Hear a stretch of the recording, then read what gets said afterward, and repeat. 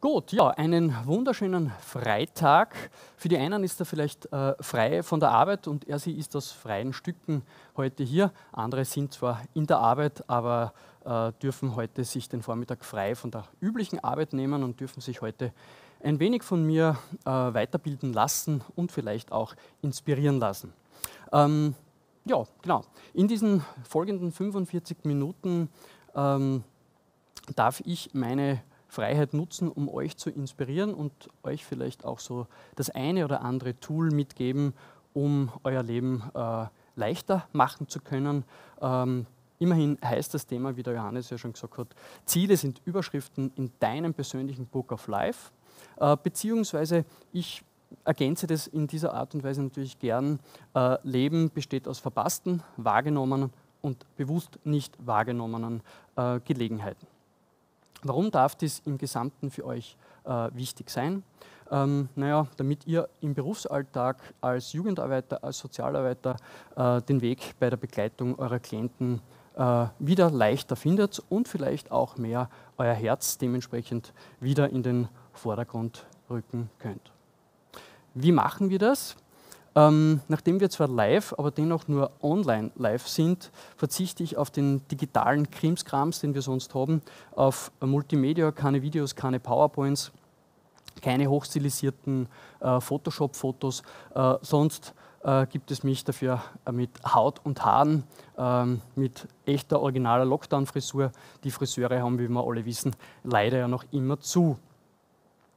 Ähm, das eine oder andere Mitmachding an Aktivitäten darf ich euch dennoch anbieten. Uh, ungefähr nach 25 Minuten, 30 Minuten werden wir eine kleine Workshop-artige Gedankenexperiment-Spielerei gemeinsam absolvieren und im finalen Höhepunkt nach 45 Minuten habe ich dann auch die Möglichkeit uh, für euch eines der vier Bücher, die ich hier liegen habe, auch mit einem kleinen Gewinnspiel zu verlosen. Also nicht um 1990, auch nicht um 15, nicht um 10, auch nicht um 5, sondern gratis, aber nicht umsonst. Einmal in meinem Leben wollte ich das gesagt haben. Also bleibt dran.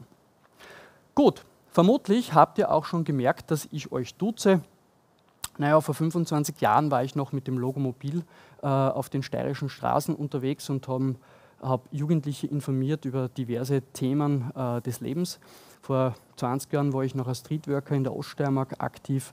Mittlerweile bin ich in einem Krisenzentrum tätig, äh, in einem Turnusbetrieb und eben als Supervisor für Blaulichtorganisationen und für Social Profit Organisationen.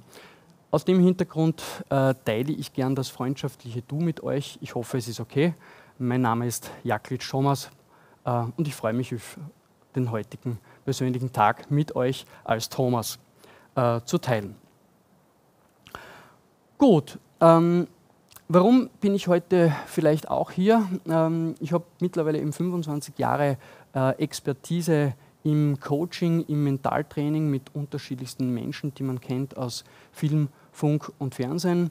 Ähm, primär nach außen in die Öffentlichkeit äh, gegangen bin ich meistens mit meinen äh, Langstrecken-Radsport äh, Sportlern, vor allem mit dem König der Langdistanz, wie er so schön genannt wird, der Christoph Strasser, mittlerweile sechsfacher Race Across America-Sieger, äh, der erste und einzige Mensch der Welt, der über 1000 Kilometer in 24 Stunden auf dem Fahrrad zurückgelegt hat. Das hat er heuer im August äh, am Fliegerhorst in Spielberg absolviert. Unglaubliche äh, Aktivität, die er dort geleistet hat. Eine andere Seite, die ich hier auch vielleicht noch anmerken darf, ich bin ja äh, diesbezüglich auch etwas anders als die anderen. Also so sehr ich Diversität liebe in meinem Privatleben, bin ich ja seit fast 22 Jahren verheiratet. Das ist ja heutzutage eher was Außergewöhnliches und habe noch dazu drei Kinder. Und jetzt kommt erst das Außergewöhnliche. Diese drei Kinder sind alle mit der gleichen Frau. Also Diversität ist heuer oder heutzutage ja sehr hoch bewertet in meiner Art und Weise ist es in meiner Wertstabilität aber noch etwas anders zum Sehen. Warum das vielleicht auch für euch wichtig sein kann, das werdet ihr heute auch noch in der einen oder anderen Übung miterleben dürfen. Im Jänner durfte ich bereits meiner Zeit voraus sein und eine Boosterimpfung für die steirischen Jugendarbeiter und Jugendarbeiterinnen anbieten, nämlich ich durfte einen Motivationsbooster anbieten. Ich durfte im Jänner bereits eineinhalb Stunden über das Thema Ziele, Ziele setzen, Smart-Ziele äh, und auch eine Installation, wie man das Unbewusste gut mit hernimmt, um in seinen Wegen zum Ziel auch alle Sinne äh, gut zu mit auf den Weg nehmen zu können. Ähm, die gute Nachricht ist, man kann das Ganze auf YouTube ähm, in der Logo-Seite auch nachhören, nachschauen, nachlesen. Und das ist vielleicht auch einer der Mitgründe, warum ich heute hier widersprechen darf. Ich danke diesbezüglich auch für die Resonanz, die ich im Jänner erfahren durfte über E-Mails äh, und auch vielleicht äh, über die eine oder andere Buchbestellung, äh, die ich widmen durfte. Auch das ist heute hier natürlich auch wieder möglich. In diesem Motivationsbooster im Jänner durfte ich solche Dinge erzählen wie Motivation ist das Ergebnis von entsprechenden Zielen. Oder wie es Ephraim Lessing gesagt hat, der Langsamste, der sein Ziel kennt, geht noch immer geschwinder als derjenige, der ohne Ziel herumirrt. Und ich glaube persönlich, dass dies grundsätzlich alles richtig ist. Ähm, seit über 20 Jahren arbeite ich genau mit diesen Ansätzen aus diesen bestimmten deterministischen Zielmodellen. Die sind in Raum und Zeit in einer bestimmten Art und Weise verortet, überprüfbar, messbar. Ähm, genau aus dem Hintergrund war ich dann, weil ich diese Zielmodelle genutzt habe, mit vielen meiner Sportlern äh, in diversen Gegenden dieser Welt vor allem aber auch immer wieder in den Vereinigten Staaten. Ähm, ich durfte dort eben besagten Christoph Strasser äh, mehrfach beim Race Across America begleiten. Ich war dort auch bei der 24-Stunden-Weltmeisterschaft und auch dieses Bild, das man hinter mir momentan sieht, ähm, ist ein Abbild quasi von meinem Geburtstagsausflug zu meinem 40er, ist auch schon eine Zeit lang her, ähm, zeigt mich mitten in der Wüste von Kalifornien beim Rennen. Äh, Race Across the West ist der kleine Bruder quasi des Race Across Americas. Das heißt, ich darf, wie es eine große Tageszeitung einmal über mich gesagt hat, nicht nur gescheit reden, ich darf auch genau das umsetzen, äh, wovon ich spreche. Mit über 20 Jahren Erfahrung aus diesem Langstrecken-Radsportbereich äh, kenne ich natürlich diese äh, Verpflichtungen, die man auch in solchen Sportarten auf sich nehmen muss und auch die Risiken sehr gut. Um an meiner Vorrednerin zum Beispiel auch anknüpfen zu können äh, bezüglich Ernährung und Leistungsvermögen und Body Mass Index. Äh, ich verzichte dementsprechend heute auf Charts und sonstige Bereiche. Aber eine Anmerkung zu der wirklich großartig gemachten äh, Vortragseinheit. Ohne Mampf kein Kampf. Das gilt im Wettkampf, im Spitzensport, wie auch natürlich im normalen Leben. Ja? Ohne Mampf kein Kampf. Merkt sich das, das ist eine ganz wichtige Geschichte. Normalerweise, wenn ich über Neurobiologie rede, äh, frage ich immer, wie funktioniert unser Gehirn? Dann warte ich einen kurzen Moment. Äh, dann sage ich, wir wissen es nicht, aber funktionieren tut unser Gehirn eigentlich nur über äh, Kohlenhydrate. Das heißt, ganz wichtig, ohne Mampf kein Kampf. Gut, In diesen Zeiten, wo ich in den USA unterwegs war, durfte ich unterschiedliche Bundesstaaten kennenlernen. Äh, Gerade bei diesem Foto, das man da hinter mir auch sieht, äh, bei diesem Race Across the West, da bin ich von dem äh, Surferparadies Oceanside an der kalifornischen Küste äh, über die Wüste nach Arizona, von Arizona dann ins heilige Land der Indianer, noch ins Monument Valley unterwegs gewesen und dann über die Berge, in die Berge nach Colorado in das berühmt-berüchtigte Filmörtchen Durango gefahren. Und auch in der Begleitung von diversen Athleten und auch äh, in diesen Aufenthalten in Amerika habe ich eines immer wieder kennenlernen dürfen, diese amerikanische Grundhaltung, dieses Act on it, dieses Go for it, diesen Positivismus. Wir reden hier von einem Land, unabhängig von politischen Aspekten und auch von sonstigen Aspekten der Umweltverschmutzung oder sonstigen Arealen äh, und Bereichen, die vielleicht nicht ganz ideal sind. Aber in der amerikanischen Verfassung äh, ist bereits festgelegt, diesen Zugang, diesen positiven Zugang, dieses Act on it, nämlich das Streben nach Glück, ja, the pursuit of happiness, ist im Alltag der Amerikaner äh, gut merkbar. Wenn man Zeit in Amerika verbringt, merkt man diesen positiven Zugang und dieses Recht darauf, glücklich zu sein und alles auch tun zu können, um dieses Glück zu erleben, ein Lebensglück zu erleben, natürlich in jeder Sekunde, in jeder Minute äh, des Daseins.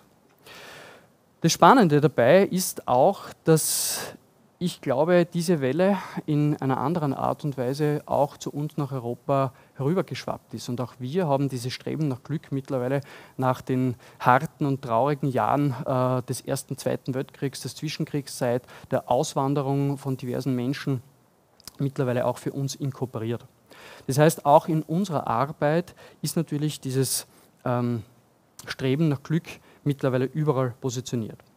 Mittlerweile hat man aber leider, oder habe ich den Eindruck, ähm, es hat sich gewandelt in, von einem Pursuit of Happiness in ein Happiness of Pursuit. Das heißt, wir erreichen äh, durch das Streben letztlich das Glück.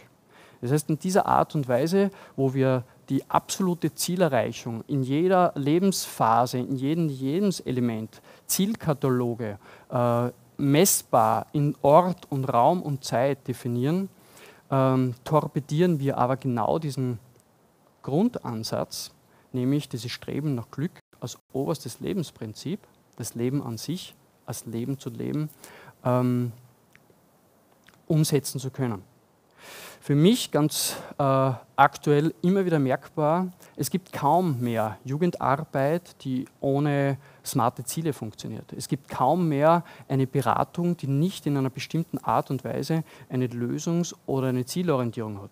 Bitte versteht mich nicht falsch. Ziele sind wichtig, Ziele sind richtig und sind auch kein Widerspruch äh, zu dem, was ich beim letzten Mal gesagt habe. Die Frage ist nur grundsätzlich, ähm, die Frage, die mein Sohn diese Woche mir gestellt hat.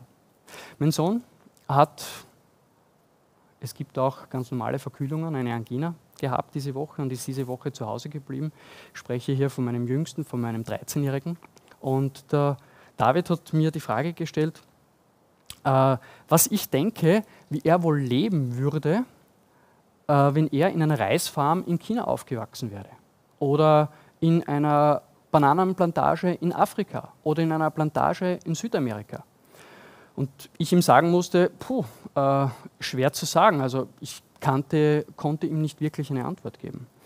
Ähm, aber mein erster Impuls, ihm zu sagen, war wahrscheinlich, dass die Optionsvielfalt, die Möglichkeiten und Notwendigkeiten der Wahl, die er bei uns im Alltag erlebt, wahrscheinlich eine andere ist, wie die, die, wenn er als Junge auf einer Reisfarm in China aufgewachsen wäre oder irgendwo in Afrika. Ähm, ich durfte ihm eine Analogie aus meiner Lebenszeit erzählen. Mein Großvater, mittlerweile verstorben, ist vor 105 Jahren geboren worden. Ähm, mein Großvater ist eigentlich hier in unserem Umfeld in der Steiermark aufgewachsen, ähm,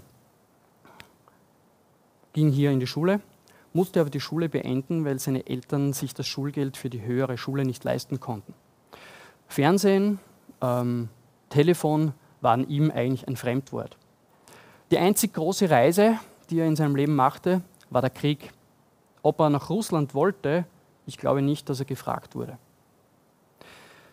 Wenn ich an meine Kindheit zurückdenke, nur zwei Generationen danach, ähm, ich konnte Schwarz-Weiß-Fernsehen, ja, ähm, und wir hatten auch ein Telefon. Äh, dieses Telefon war ein Vierteltelefon, das heißt, wir teilten uns in unserer Gasse, in unserer Sackgasse, äh, einen Telefonanschluss auf vier Haushalte. Ähm, später, ich war ungefähr zwölf Jahre alt, 13 Jahre alt, ziemlich genau das Alter meines Sohnes jetzt, begann plötzlich Wahlfreiheit in meinem Leben einzuziehen.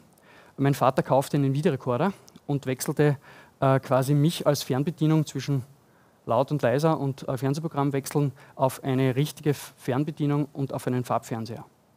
Das heißt, mein, äh, meine Option, Möglichkeiten zu positionieren, Möglichkeiten selbst zu entscheiden, wann schaue ich ein Programm und welches Programm, begann bei mir zu wachsen. Auch Urlaube waren in meiner Kindheit schon ein Thema. Jedes Jahr im Sommer ähm, fuhr meine Familie mit Sack und Back an die üblichen Strände, die man halt so kennt in Italien. Einmal Lignano, einmal Bibione, einmal Jesolo. Mein Sohn hingegen hat mittlerweile die Wahl zwischen gefühlt ungefähr tausenden Kanälen im Satellitenfernsehen, ähm, unzähligen Serienfilmen auf Netflix, Disney Plus und Amazon Prime. Äh, von der Vielfalt an Musikvideos, die wir noch im Wurlitzer kannten, äh, bei der berühmt-berüchtigten Fernsehsendung, äh, von Dokus, die in Echtzeit auf YouTube, auf Vimeo vorhanden sind, ganz zu schweigen. Sein Telefon ist mittlerweile ein Mikrocomputer, ähm, der wahrscheinlich von der Leistungsfähigkeit mehr kann als die Computer, die verwendet worden sind bei der ersten Mondlandung. Ähm, er selber nutzt dieses Smartphone, dieses Handy äh, mit einer Flatrate mit weit über tausenden Minuten, wo er telefonieren könnte, aber eigentlich nicht telefoniert, weil er lieber bei WhatsApp und sonstigen Kommunikationsmöglichkeiten mit anderen in Kontakt tritt. Mein Sohn ist mittlerweile über sein Handy, über das Internet und über diverse Spieleplattformen mit Menschen aus der ganzen Welt vernetzt hat live und real mit Auto, Bus, Zug, Flugzeug alle Nachbarländer Österreich besucht, war mittlerweile auch natürlich in Frankreich, in Spanien, in Gibraltar. Das heißt, was ich hiermit auch noch einmal aufzeigen wollte und will, es gibt heute für Kinder und Jugendliche eine, ein ungleich mehr an Lebensstandard, ungleich mehr an Wissen und ungleich mehr an Möglichkeiten. Doch ich gebe zu bedenken, dass gerade bei uns als Jugendarbeiter dieses Verständnis da sein muss, dass diese Möglichkeit nicht nur eine Wahlfreiheit bedeutet, sondern es ist mittlerweile ein frühkindlicher Wettbewerb, ähm, ein Wahlzwang. Durch diese enormen Zunahmen an Möglichkeiten, an Optionen gibt es ja kaum mehr Normalbiografien, sondern nur mehr Wahlbiografien. Ja? Also erfinde dich selbst äh, jeden Tag aufs Neue, ein alter weiser Spruch, tritt gerade jetzt in Zeiten, wo eigentlich eine Kommunikation untereinander aufgrund dieser pandemischen Struktur immer schlechter und äh, schwieriger ist, natürlich in dieser hochstilisierten Multimedia-Welt immer mehr zutage. Das heißt, wir wählen aus diesen großen Lebensmöglichkeiten und letztlich müssen wir wählen. Das heißt, wir sind quasi gezwungen, uns selbst zu verwirklichen. Robbie Williams, berühmt berüchtigter Sänger damals von Take That, ja, also Let me entertain you, ja, also jemanden zu unterhalten, jemanden in gute äh, Zustände zu bringen, das war damals schon das Motto dieser großartigen äh, oder dieses großartigen Künstlers, der, glaube ich, äh, der berühmteste und erfolgreichste britische Sänger, äh, Solosänger und Solokünstler äh, in der Geschichte ist, der an einem Tag 1,6 Millionen Tickets an Eintrittskarten verkauft hat. An einem Tag 1,6 Millionen Tickets. Muss man mal schaffen. Und gerade dieser Superstar hat eine, äh, finde ich, recht gute Aussage getätigt. Er hat nämlich gesagt, die Liebe meines Lebens sitzt vermutlich an irgendeiner Supermarktkasse und weiß noch gar nicht, wie sehr ich sie liebe. Das heißt, die Sehnsucht nach einer Normalität, nach einfach nicht immer außergewöhnlich zu sein, ist bei Superstars natürlich aufgrund diesen enormen Mediendrucks nachvollziehbar. Ähm, dies führt aber letztendlich auch für uns Normalbürger natürlich auch in einen Zustand, wo wir uns ständig natürlich nicht nur selbst erfinden müssen, sondern ähm, auch natürlich als Paradigma unserer Bildungsstrukturen ja, haben wir Wahlfreiheiten geschaffen. Wer keine Wahl hat, kann sich natürlich nicht selbst verwirklichen. Wer aber sich dagegen verwirklichen muss, wer diese großen Ziele, ja, schaut euch diesen Motivationsbooster vom Jänner noch einmal an, auch wirklich umsetzen möchte, der kann auf diese Wahl nicht mehr verzichten. Und das bringt uns natürlich in der Jugendarbeit äh, in ein riesiges Dilemma, weil dieses Streben nach Glück, führt eben zu dieser genannten Umdrehung. Ja? Wir streben nicht nach Glück, sondern wir erleben Glück, weil wir nach etwas streben. Das Tun der Zielerreichung ähm, Und die Menge an Zielen nimmt überhand bei allen Tätigkeiten in allen Lebensbereichen unserer Biografie. Das heißt, ich deute quasi die Sehnsucht oder ich deute die Frage meines Sohnes als leichte Sehnsucht nach einer einfachen Welt, in der wir leben, die weg ist von äh, Homeschooling, die weg ist von äh, diesen Multimedia-Influencer, äh, sondern die die Normalität in den Vordergrund rücken kann, ähm, weil genau diese hochstilisierte Multimedia-Welt äh, oft wenig von der Realität an sich, wie wir sie wahrscheinlich im Alltag eigentlich erleben könnten, äh, zu tun hat. Ja?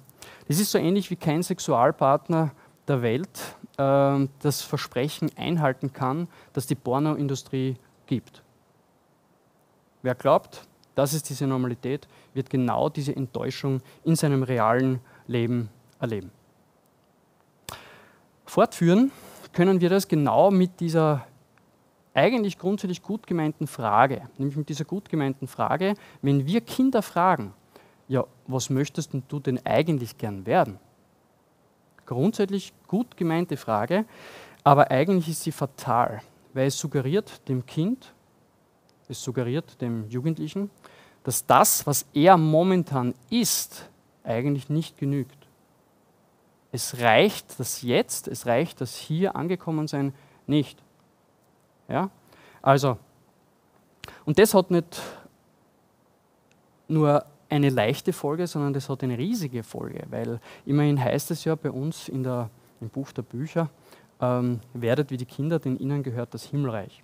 Und möglicherweise, wenn man diesen neurobiologischen Aspekt mit hereinnimmt, dass Kinder im Alter von fünf bis sechs bis sieben Jahren äh, primär im niederfrequenten Hirnwellenbereich unterwegs sind. Das heißt, äh, niederfrequente Hirnwellen von sieben bis 14 Hertz, sogenannte Alpha-Wellenbereich. Das ist dieser Bereich, wo wir besonders gut lernen können und aber auch, gerade weil wir auch so gut lernen können und weil wir sehr entspannt sind, ähm, uns deswegen auch eine bestimmte Neugierde erhalten. Eine Neugierde erhalten, ähm, Dinge zu lernen und auch das Spiel des Spielen Willens spielen.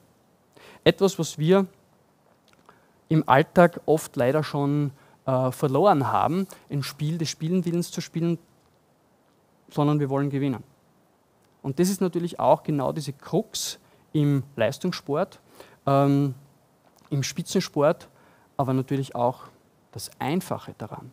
Weil in dem Moment, wo Raum und Zeit definiert ist, kann ich mit meinen smarten Zielformulierungen diesen Haken drunter setzen. Im Spiel des Lebens gibt es diesen Haken nicht. Du kannst das Spiel des Lebens nicht gewinnen, du kannst das Spiel des, Spiel, das Spiel des Lebens nur spielen.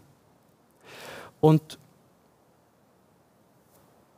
gerade weil eben dieses absolut gültige Ziel nicht da ist, möchte ich euch auch eines sagen, und das ist gerade in jetziger Zeit natürlich keine Neuigkeit. Ja. Das letzte Hemd, das hat keine Tasche. Memento mori. Ja. Äh, bedenke, dass du sterblich bist heißt dieses lateinische Bonmot. Und das flüsterten die Sklaven den erfolgreichen Triumphatoren, wenn sie von großen Feldzügen in Rom einmarschiert sind, diesen Kaisern, diesen äh, Kriegsherren quasi ins Ohr, während tausende äh, Menschen sie in Rom zujubelten, äh, damit, Memento Mori, sie daran denken, dass sie sterblich sind, dass es noch nicht jetzt die Erhöhung äh, zu einer Gottheit äh, kommt, sondern dass eben dieses Vanitas, diese Vergänglichkeit des Lebens einfach immer auch der Bestandteil unseres Lebens ist. Denn man wusste auch damals natürlich schon, dass wahrer Reichtum letztlich nicht von außen funktioniert. Ja? Ähm, sondern wahrer Reichtum, wahres Gewinnen, wahres Wachsen entsteht letztlich im Inneren von einem selbst. Wer vielleicht den einen oder anderen Vortrag von mir schon gehört hat, denkt sich jetzt, hm, das ist aber sehr widersprüchlich zu dem, was ich gesagt habe bisher. Wer auch vielleicht meine Bücher schon gelesen hat, denkt sich das vielleicht auch. Ich möchte es ein wenig korrigieren. Äh, ich werde oft angekündigt äh, nach dem Motto, der Zufall ist planbar oder wer steuert deinen Bus? Wie kannst du Kontrolle über dein Leben gewinnen? Alles richtig. Ich stehe auch hundertprozentig hinter genau den Dingen, die ich die letzten 20 Jahre diesbezüglich auch aktiv produziert und gemacht habe. Ähm, das Leben besteht letztlich immer aus verpassten, aus wahrgenommenen und nicht wahrgenommenen Gelegenheiten. Dabei müssen wir lernen zwischen Zielen, klassisch in unseren Zielformularen und Zielplanungen, die wir kennen, äh, zwischen Missionen oder sogar Lebensvisionen oder Lebensträumen zu unterscheiden.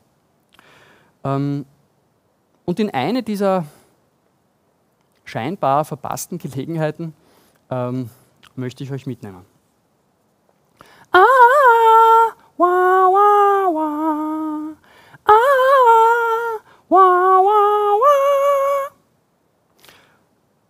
Für die anderen, die das kennen, die haben es bereits erkannt. Und für die einen, die das nicht kennen, ist es einfach nur cringe, was ich gerade gemacht habe. ähm, das ist Teil, dieser berühmte Teil äh, eines Titelsongs, äh, geschrieben von Ennio Morricone in einem Western äh, namens The Good, The Bad and the Ugly. Und Es ist Teil einer Trilogie, wo Sergio Leone quasi drei äh, große Filme gedreht hat, mit Lee Van Cleef, Clint Eastwood und Eli Wallach in der Hauptrolle. Und in diesem berühmt-berüchtigten Film The Good, The Bad and the Ugly ähm, durfte ich dementsprechend als junger Mann, also diejenigen, die heute aufpasst, hat, aufpasst haben, haben schon gehört, äh, 1966 wurde dieser Film gedreht und mein äh, älterer Bruder hat eben unseren Videorekorder zum richtigen Zeitpunkt äh, programmiert und ich durfte den dann ungefähr mit zwölf Jahren sehen. Und er hat mich massiv beeindruckt und vor allem hat es mich massiv beeindruckt, dass im Original ähm, The Good, The Bad and The Ugly gestanden ist. Also eine Fremdzuschreibung einer Identitätsrolle, einer Ausfüllung von äh, Identitäten, also der Gute zu sein, der Böse zu sein und vielleicht der Hässliche zu sein. Und in der deutschen Übersetzung wurde aus dieser Triade plötzlich zwei glorreiche Halunken.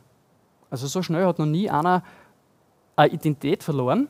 Nur dazu auch die Frage, der es übersetzt hat, wer von den Ganzen wurde glorifiziert, also in eine ruhmreiche Höhe gebracht und wer ist komplett weggekommen.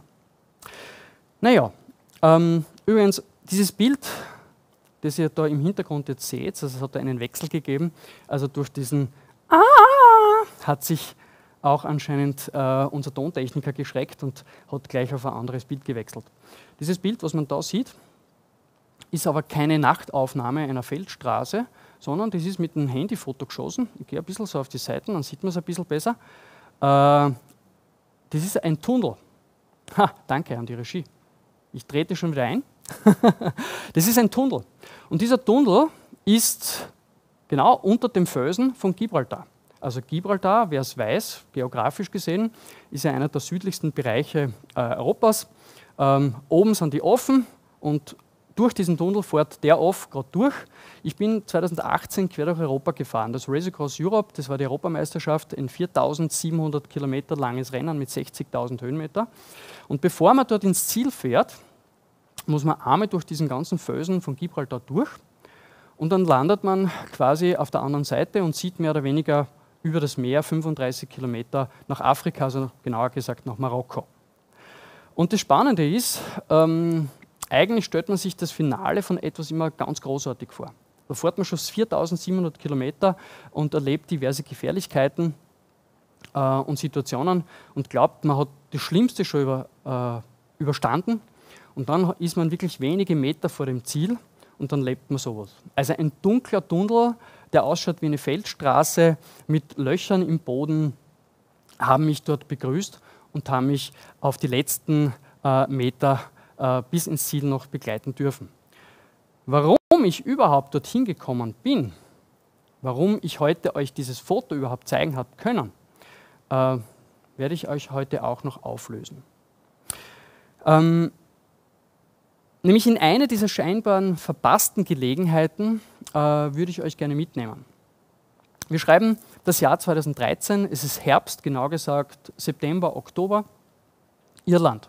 Irland, das Land der Kobolde, ähm, grüne Kleeblätter, Steinmauern, viele Steinmauern und viele Schafe. Unendlich viele Schafe.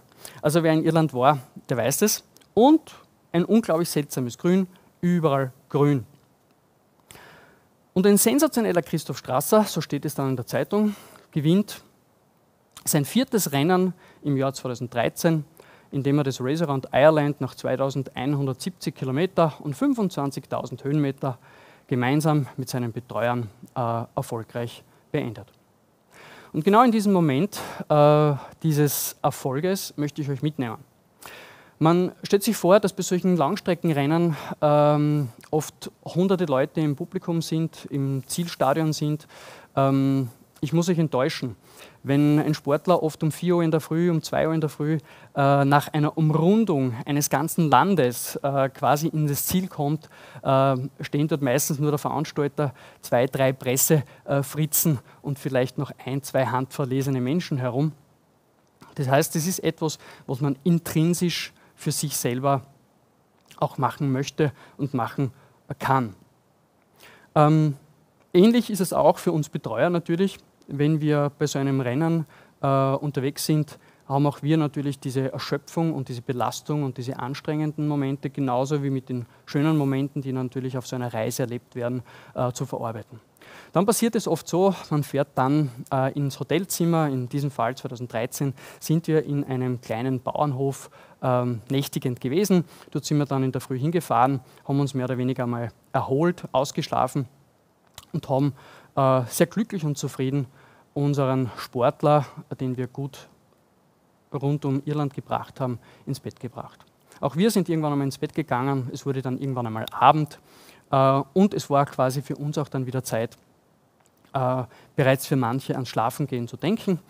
Ähm, ich war in solchen Elementen oft der Älteste, zumindest zum Alter, und oft der einzige Verheiratete und oft der einzige äh, mit Kindern äh, auf solchen Abenteuern mit unterwegs und habe oft auch bei solchen ähm, Momenten und Möglichkeiten ähm, meine Fähigkeiten als Autofahrer, als nüchterner Autofahrer nutzen dürfen. Insofern bin ich aber auch ein Mensch, der gerne äh, Freude und Spaß im Tun erlebt. Und wenn man Dinge für sich erfolgreich abschließt, darf man diese auch feiern. Insofern, insofern konnte ich drei meiner Betreuer dazu motivieren, mit mir gemeinsam ähm, ins nahegelegene Trim zu fahren und dort diese Pub- und Disco-Atmosphäre zu genießen. Unser Mitleid gegenüber denjenigen, die zuerst nicht mitgefahren sind, äh, hielt sich in Grenzen, denn relativ bald war einfach wir, äh, waren wir geflasht von dieser lässigen Atmosphäre. Es gab Feuer, es gab Tänzerinnen, es war gute Musik und es gab einfach eine unglaublich gute Stimmung. Also alles das, was das Leben und was Spaß machte, wurde von uns quasi aufgesogen. Ja, das Markt des Lebens in uns aufnehmen, ohne am Knochen zu ersticken. Das war das Thema. Und insofern nutzte ich auch die Möglichkeit, mich aber dann irgendwann einmal auch kurz zur Ruhe zu kommen, an die Bar zu setzen, an den Tresen zu setzen und dort eine rosarote Industrielimonade eines großen internationalen Herstellers äh, zu trinken, weil ich ja nüchtern bleiben wollte. Ich blickte über äh, die Tanzfläche, ich blickte über die ganze Atmosphäre, als ich plötzlich eine äußerst attraktive rothaarige Dame ähm, entdeckte, die ihren Schritt auf mich zu ähm, nahm. Sie kam näher und ich merkte ähm, in späterer Folge auch eine sehr selbstbewusste Dame, äh, dass sie außergewöhnlich hübsch und dementsprechend mit Sommersprossen rothaarig geschmückt war. Sie kam zu mir, blickte mir tief in die Augen, steckte ihren Finger in meine Haare, drehte meine Haare um ihren Finger und sagte zu mir, I never fucked a boy with long hair. Genau. Also ich hatte noch nie Sex mit einem Burschen, mit einem Typen mit langen Haare. Das war der Moment in meinem Leben, wo ich kurz einmal äh, Schmähstart war, also sprachlos war. Und ich durfte dann später mit der jungen Dame ins Gespräch kommen. Ähm, um auch darüber zu erzählen, warum ich äh, dieses Angebot dann letztlich äh, auch nicht abnehmen äh, oder nicht annehmen konnte. Manche von euch werden sich jetzt denken, äh, um Gottes Willen, wieso hat er so ein Angebot äh, abgelehnt? Ja? Äh, manche werden sich denken, um Gottes Willen, er hat das genau richtig äh, erwähnt. Manche werden sich vielleicht denken, warum erzählt er das hier in dieser Öffentlichkeit? Und ich sage euch aus einem großen Grund. Weil die große Frage ist natürlich immer, wie sie Richard David Brecht schon gestellt hat, beziehungsweise Gunther Schmidt aus der hypnosystemischen äh, Therapie. Wer bin ich und wenn ja, wie viele? Wer in welcher Identität, in welcher Rolle, mit welchem Mindset bin ich im Moment, wo ich das tue, was ich tue? Und ich konnte in diesem Mindset eine ganz, klares, eine ganz klare Möglichkeit anbieten. Und ich möchte das euch später in wenigen Minuten auch als Workshop, Gedankenexperiment für euch selber anbieten. Ich gehe jetzt gedanklich sechs Schritte zurück. Das geht sich rein optisch nicht ganz aus. Aber wer war ich denn mitten in Irland? Ja? Ich war der Coach von Christoph Strasser, der Mentalcoach. Ähm, das heißt, ich habe mir die Frage gestellt, wo bin ich? Was ist die Umfeldvariable? Äh, also ich war in Irland. Mit wem war ich dort? Mit Betreuern und mit Christoph Strasser. Wann war ich dort? Irgendwann einmal im Herbst ähm, für ungefähr 14 Tage. Tag und Nacht, spätestens dann, wenn wir im Auto gesessen sind, um auf dieser mehrtägigen äh, Umkreisung quasi Irlands nonstop mit dem Fahrrad im Auto zu sitzen. Nächster Schritt nach vorne. Ähm, was habe ich getan als Coach, als Mentalcoach von Christoph Strasser? Ich habe äh, gesprochen, ich habe geschrieben, ich habe zugehört, äh, ich habe Entscheidungen getroffen, ich bin gesessen. Was wäre die typische Handbewegung, wie es Robert Lemke so schön fragen würde? Ich habe mit einem Bleistift das dokumentiert, was er auch an Nahrung zu sich genommen hat. Nächster Schritt nach vorne wäre meine Ebene der Fähigkeiten und Fertigkeiten.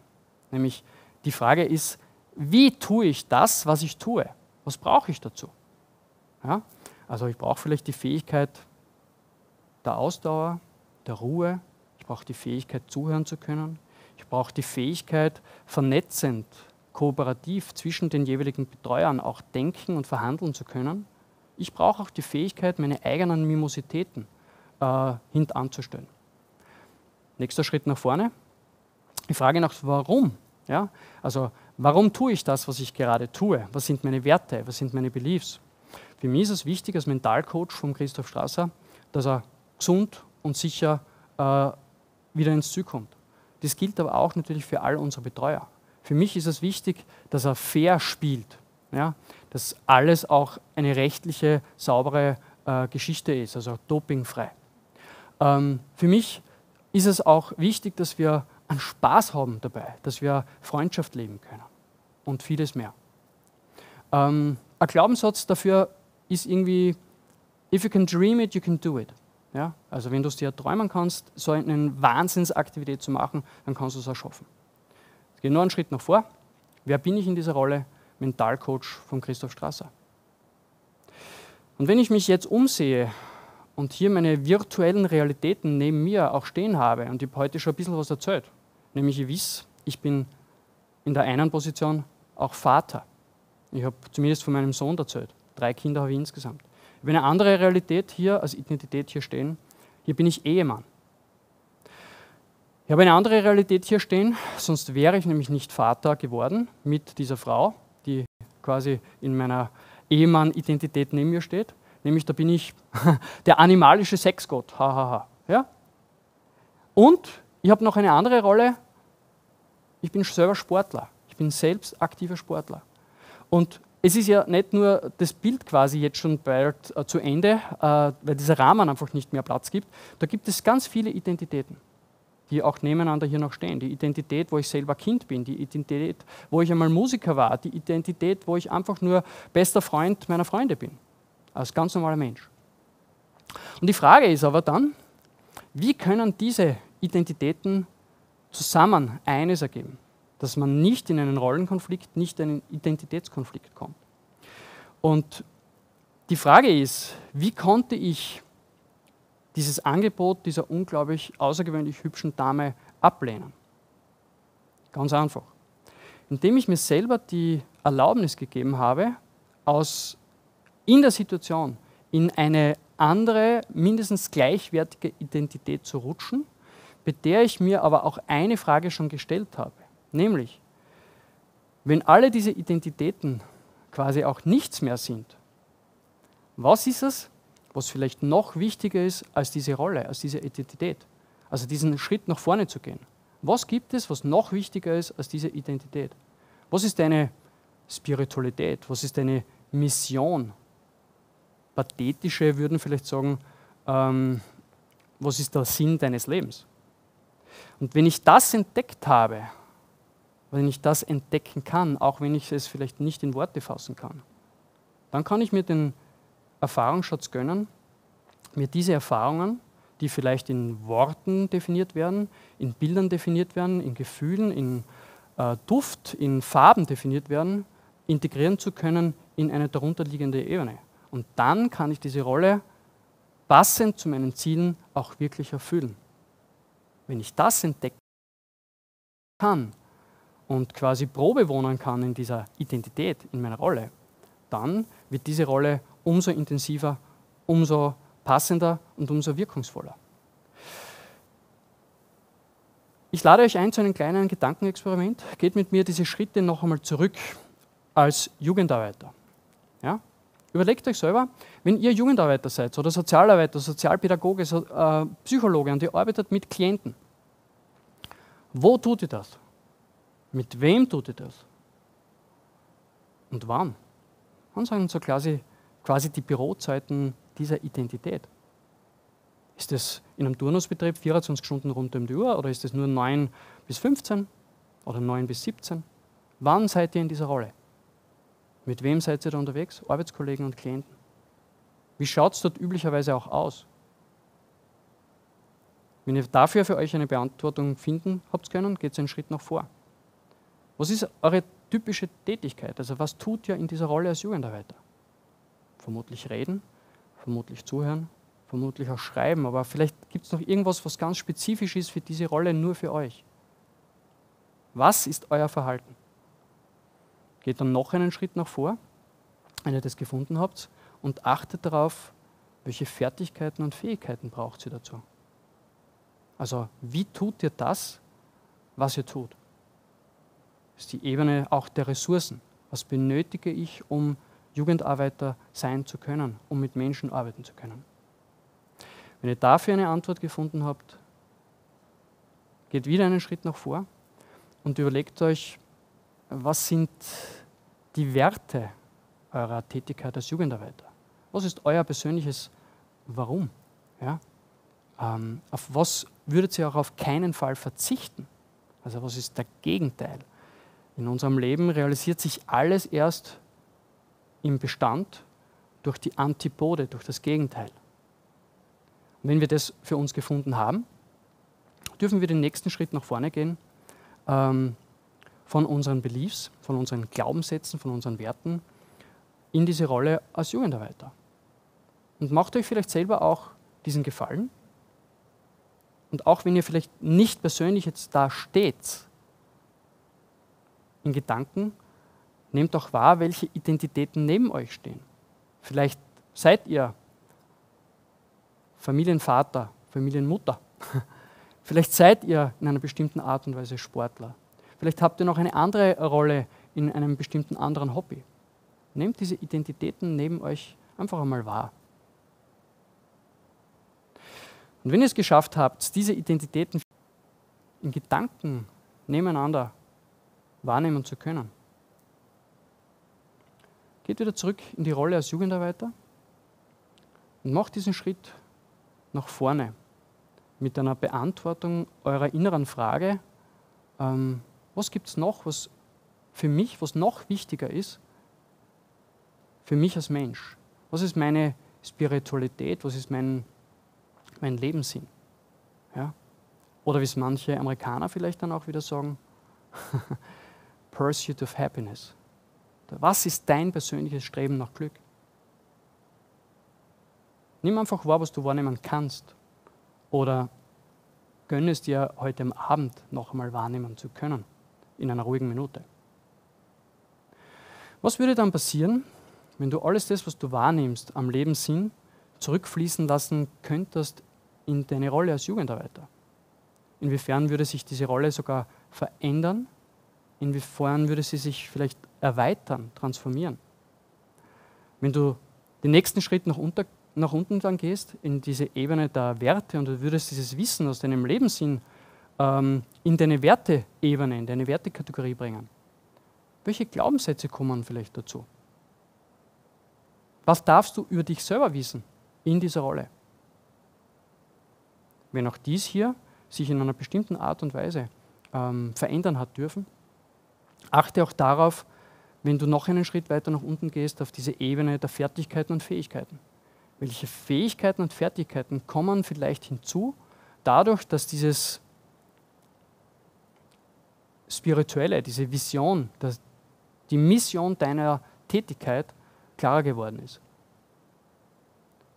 Und dann, inwiefern kann im nächsten Schritt nach hinten auch dies Einfluss nehmen auf deine Verhaltensebene, auf deine Möglichkeiten im alltäglichen Tun Dinge tun zu können. Und dann auch im letzten Schritt dahinter auf dieser Ebene der Umwelt- und Umfeldfaktoren. Wo kannst du das vielleicht gut nutzen? Oder wo ist das Erkennen von Lebensvision, von Lebenssinn vielleicht die Möglichkeit, sogar dein Berufsfeld zu wechseln? Wo du früher vielleicht gedacht hast, Streetwork als Beispiel, das ist nichts für mich, dafür fehlt mir vielleicht der positive Zugang, diese Extrovertiertheit oder auch die Möglichkeit, bei Tag und Nacht zu arbeiten.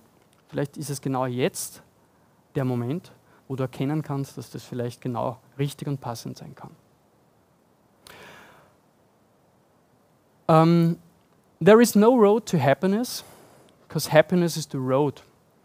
Ein berühmt-berüchtigter Spruch, leider nicht von mir, viele tausende Jahre alt, als klassischer Spruch äh, des Dalai Lamas oder im Buddhismus äh, angesiedelt. Ähm, darf das Tun im Vordergrund sein und nicht nur die reine Erreichung von Zielen. Ähm, ich selber hätte wahrscheinlich nicht die Chance gehabt, quer durch Europa zu radeln und euch dieses Foto äh, in diesem Tunnel mit Handycam zu schicken, wenn ich damals im Jahr 2013 nicht sehr klar in meiner Identität war und obwohl ich dort ja nicht in klassischer Bekleidung als Sportcoach von, Thomas, äh, von, von Christoph Strasser war, sondern in normalen Alltagskleidung und eigentlich ja auch in meiner Identität als, ihr wisst schon, animalischer Sexgott reagieren hätte können, habe ich reagiert in der Identität als Ehemann, als Vater, der sein Know-how to, gewusst wie, und Know-how und why, Know-how why, auch kennengelernt hat. Ähm, Nietzsche hat es so schön formuliert, wer ein Warum hat, für den ist kein Wie zu schwer. Hier ist aber nicht dieses Warum, des Anklagenden im Alltag gemeint, sondern hier ist dein persönliches Warum, äh, mit dem du in das Leben eingekleistert bist, gemeint. Ähm, ich denke mir, ähm, die gute Nachricht, alles das, was ich jetzt an kleinen Gedankenexperiment kurz präsentieren durfte, kann man auch nachlesen in einem meiner Bücher. Äh, für diejenigen, die es auch interessiert, ähm, darf ich auch jetzt noch ein kleines Gewinnspiel unter Anführungszeichen ankündigen und auch die äh, Möglichkeit darstellen, wer Lust und Laune hat, um dieses kurze Gedankenexperiment zur Findung und zur Positionierung deiner eigenen Rollenidentität. Diese Übung kann man übrigens wunderbar mit Jugendlichen machen. Die kann man wunderbar mit Klienten machen, um für Ziele eine enorme Selbstwirksamkeit in der tagtäglichen äh, Durchführung zu erreichen. Ähm, jemand, also alle diejenigen, die wissen wollen, wie das funktioniert, schicken mir bitte eine E-Mail. Ähm, ich schreibe sie nachher gleich auch auf ähm, und ihr kriegt ein kurzes Skriptum darüber, damit ihr äh, diese Übung für euch auch noch einmal nachvollziehen könnt und auch für euch selber durchführen könnt. Gut, also eine dieser verpassten Gelegenheiten haben letztlich genau ähm, diese bewusste Entscheidung verursacht, diese Gelegenheit an mir vorbeistreifen zu lassen, damit ich euch heute diese kleine, aber feine Geschichte erzählen konnte. Ich würde euch äh, gerne aber jetzt noch im Finale ein kleines Gewinnspiel offerieren und bitte einmal kurz zur Freischaltung meiner PowerPoint-Möglichkeit. Genau, da habe ich auch schon den Johannes mit dabei, das freut mich besonders. Ähm, ich würde kurz mein Gewinnspiel benötigen äh, und in dieser Art und Weise äh, noch einmal kurz einmal ausblenden, sodass wir das, äh, die, die PowerPoint, also die PowerPoint äh, im Großen äh, haben, dass wir diese neun Punkte gut sehen. Ohne Johannes bitte. Sonst gehe ich einfach aus dem Bild raus. ja, genau, das ist am einfachsten. Gut, und in diesem Gewinnspiel geht es um genau das, was wir jetzt gerade 45 Minuten gemacht haben. Ich habe dir habe hier neun Punkte angeordnet, ähm, die auch so etwas sein können wie neun Rollenidentitäten in eurem Leben. Eure Aufgabe ist es, oder mein Wunsch an euch ist es, äh, diese neun Punkte mit insgesamt vier zusammenhängenden Linien ohne den Stift abzusetzen zu verbinden. Diejenigen, die das schaffen und mir dementsprechend nachher im Anschluss eine E-Mail schicken. Die gewinnen eines dieser Bücher, wo man hier das dementsprechend auch nachlesen kann. Also die ersten vier, die es schaffen, äh, denen schicke ich gerne ein Buch zu mit dazugehöriger persönlicher Widmung. Bitte die Lösung des Gewinnspiels dann an tj.sportcoaching.net schicken. Und insofern ähm, darf ich damit eigentlich schließen ähm, mit einer Anmerkung, dass ich natürlich glaube, äh, es ist risikoloser, äh, als Knospe zu verharren. Doch wenn eines Tages äh, dieser Schmerz in der Knospe zu verharren größer wird und ich komme in die Bereitschaft, äh, zur Blüte zu werden, auch wenn ich weiß, ich werde irgendwann einmal verblühen und zu Kompost, dann hat man sein persönliches Warum gefunden. Insofern sage ich vielen Dank und ich freue mich auf die Einsendungen des Gewinnspiels. Danke, euer Jaklic Thomas. Ja, lieber Thomas, vielen herzlichen Dank für deine wirklich inspirierenden und zur Reflexion anregenden äh, Worte und, und Ausführungen. Ich möchte Sie und euch noch einmal sehr herzlich einladen, sich am Gewinnspiel zu beteiligen. Ähm, wie gesagt, die E-Mail-Adresse, wo die Lösung hingeschickt werden soll, ist Theodor Jaklitsch, also Thomas Jaklitsch in Wahrheit, tj at sportcoaching.net. Ich glaube, dass die Anna das mittlerweile auch schon in den Chat gestellt hat. Und die Fotos von euren Lösungen würde ich bitten, in den nächsten zehn Minuten an diese E-Mail-Adresse zu schicken. Und dann kommt natürlich noch die Auflösung. Jetzt möchte ich aber keine Zeit mehr verlieren und gebe auch gleich weiter zu Anna und frage, ob Fragen im Chat oder auch im Facebook-Livestream aufgetaucht sind. Liebe Anna, wie schaut's aus? Also bisher waren noch keine Fragen im Chat. Es gibt natürlich jetzt noch die Möglichkeit, Fragen zu stellen, aber ich glaube, die Zuseher und Zuseherinnen waren jetzt einfach so gepackt von deinen Erzählungen, Thomas. Deswegen mache ich jetzt einfach mal weiter in der äh, übrigen Zeit, die uns noch bleibt. Und zwar hätte ich eine Frage an dich und die wäre, was kann denn ich jetzt als Jugendarbeiter oder Jugendarbeiterin tun, dass dieses Spielerische ähm, den Jugendlichen so lang wie möglich erhalten bleibt, von dem du im Vortrag gesprochen hast? Naja, ähm, so wie es vorher auch schon erwähnt hat, also manchmal äh, ist, ist so diese es gibt, eine, es gibt ein Resonanzphänomen. Phänomen, ja? Das heißt, wenn ich natürlich als Jugendarbeiter schon auch mit dazugehörigen äh, Ziellisten, Zielplanern, Kennzahlen, die natürlich meinen Stakeholdern auch geschuldet sind, in meinen Alltag hineingehe, ähm, dann verliere ich vielleicht auch selber meine dazugehörige eigene Neugierde und spielerische äh, Zugangsmöglichkeit, die vielleicht ursprünglich dafür zuständig war, dass ich überhaupt diesen Beruf erwähle. Im Sinne von Berufung. Ja? Also dieser Ruf ereilte mich. Ähm, also dieses Phänomen der Übertragung oder dieser Resonanz darf es durchaus geben. Wobei ich äh, das nicht nur negativ sehe, in diesen Ziellisten oder in den Zielthemen zu arbeiten. Das kann natürlich auch total spielerisch und total angenehm äh, vonstatten gehen. Ja? Also darüber kann man natürlich auch einiges in diesem Motivationsbooster nachlesen, den ich da oder nachschauen, den ich im Jänner für Logo bereits gemacht habe. Ähm, aber ganz wichtig ist auch, in der Erreichung von Zielen immer wieder daran zu denken, ähm, der Weg ist das Ziel und nicht das Resultat. Eines vielleicht ist aber auch eine Ermutigung. Ähm, viele Ziele werden deswegen nicht erreicht, weil sie zu klein gesteckt werden. Das heißt, eine Ermutigung auch an Jugendarbeiter, äh, Jugendliche dazu zu inspirieren, große Ziele, große Visionen zu denken. Denn wenn ich auf dem Weg bin zu meinem Ziel, und es ist ein kleines Ziel, und es kommt äh, dementsprechend ein Problem auf mich zu, ein Felsbrocken, der auf, quasi auf dem Weg zu meinem Ziel liegt, der verstellt mir den Blick auf mein Ziel.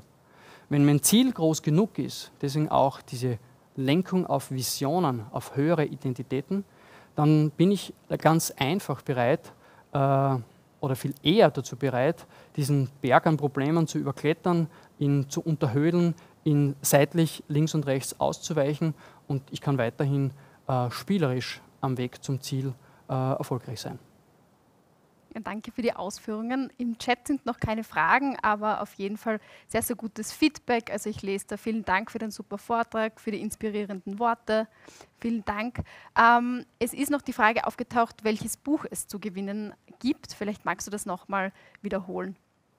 Ähm, ja, sehr gerne. Also grundsätzlich ähm, das Angebot auch tj.sportcoaching.net äh, mir ein E-Mail zu schreiben und ich schicke äh, in kurzen äh, Blättern gerne ein PDF an die äh, dazugehörige Adresse, wo das nochmal nachzulesen ist. Aber diese sechs Punkte sind relativ einfach zum Definieren. Äh, quasi die Basis ist, sind Umwelt, Umfeldfaktoren. Also Umfeld, Umfeld und Zeit. Also wann, wo und Personen, also mit wem sind dort die Fragestellungen. In der Stufe da, darüber ähm, darf das wesentlich sein, ähm, was ich als sogenannte Verhaltensebene definiere. Ja? Also was tue ich? Verhalten. No, hängt ein bisschen. Verhalten. Was tue ich? Was ist meine typische Handbewegung? Ja? um das zu beschreiben. Die nächste Ebene darüber äh, definiere ich als Fertigkeiten- oder Fähigkeiten-Ebene oder auch als Ressourcenebene.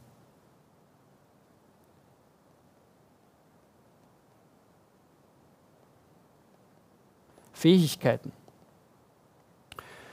Die Ebene darüber wäre dann die sogenannte Ebene äh, der Werte, der Glaubenssätze. Hier frage ich, indirekt nach dem Warum. Ebene der Werte der Glaubenssätze. Und die darüber liegende Ebene wäre dann die Ebene der Identität. Also hier darf ich die Frage stellen, wer bin ich? Ja, in dem Fall meiner Geschichte ähm, der Coach von Christoph Strasser, in dem Fall meiner Geschichte Ehemann, anderen Fall der Geschichte Vater. Wer bin ich? Identität. Und die darüber liegende äh, quasi Spitze der Pyramide, wenn man sich das so vorstellen könnte, wäre dann eben diese Vision, diese Spiritualität, das höre Ich. Vision, Spiritualität.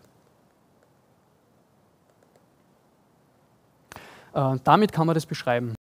Äh, der Hintergrund äh, lässt sich organisationstheoretisch recht gut auch beschreiben. Äh, das findet man auch in einer bestimmten Art und Weise bei den sogenannten äh, neurologischen Ebenen oder logischen Ebenen von Organisationen wieder. Ähm, fußt auch ein bisschen auf dieser Einstein-Annahme, dass Probleme und Schwierigkeiten niemals auf dieser Ebene gelöst werden können, auf der sie entstehen. Das heißt, wenn ich Probleme in meinen Fähigkeiten habe, auf der Ebene der Fähigkeiten, muss ich an meinen Werten arbeiten, um in meinen Fähigkeiten besser zu werden. Wenn ich Probleme in meinem Verhaltensbereich habe, muss ich genau an diesem Wie tue ich was an meinen Fähigkeiten arbeiten und so weiter.